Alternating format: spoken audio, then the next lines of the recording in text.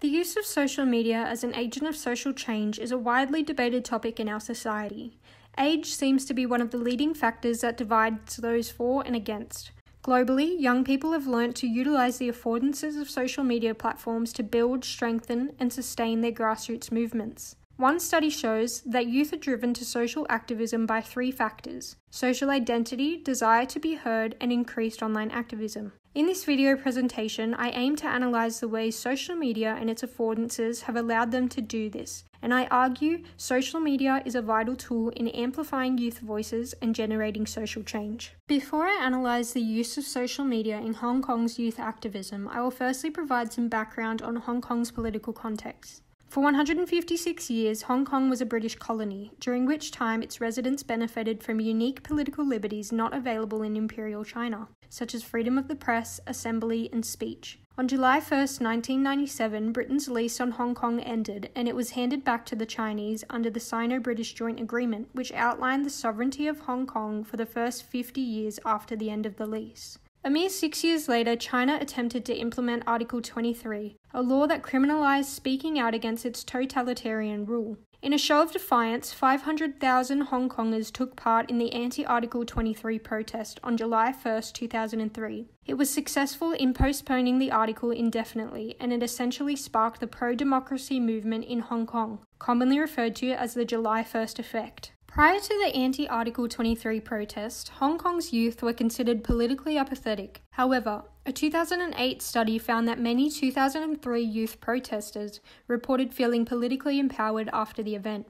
In 2012, China implemented moral and national education that was essentially designed to instill Chinese nationalism and loyalty in Hong Kong's youth. A grassroots pro democracy student activist group called Scholarism was established in 2012 by 14 year old Joshua Wong to protect Hong Kong's educational system from Chinese influence. I will now move into discussing my chosen case study. Two years later, students would rise again to protest Beijing's decision to only allow Hong Kong residents to elect their chief executive from a list of pre selected candidates. It was widely considered a gesture of fake democracy and sparked the 79 day umbrella protests. Activists' use of umbrellas to block police pepper spray served as the inspiration for the name. Youth activists made up 53% of the protesters and generated masses of support through the use of social media. The Hong Kong Federation of Student and Scholarism were the first to protest outside government headquarters. A 2018 study explains through structural emancipation, idea expression, and resource diversification, social media allows civilians to draw attention to social issues that they feel those in power have neglected. Additionally, due to the variety of engagement options it affords them, social media gives people an alternative, an extra institutional way to engage in social movements, liberating them from pre existing constraints such as distance. In saying this, both student organizations realized they would need to utilize social media to grow support for their cause.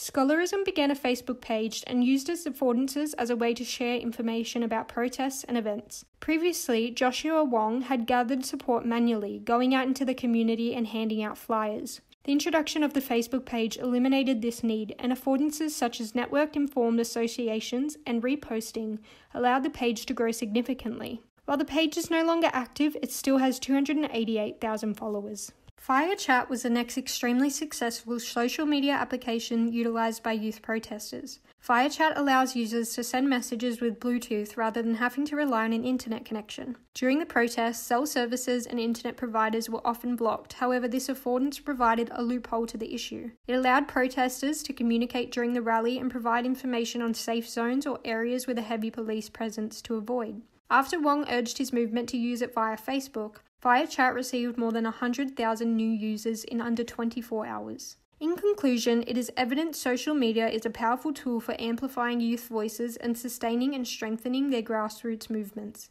In saying this, activism does not necessarily occur completely online. In the current day and age, it is more of an extension of the work they do on the ground. In Hong Kong's case, social media was utilised to maintain momentum and inform citizens while the protest occurred in the streets away from social media. However, it is also important to recognise many of the rallies happening in the street were filmed and posted to social media. This form of citizen journalism, often conducted by young people on the front lines, brought in more supporters and inspired others, particularly youth, to join the fight.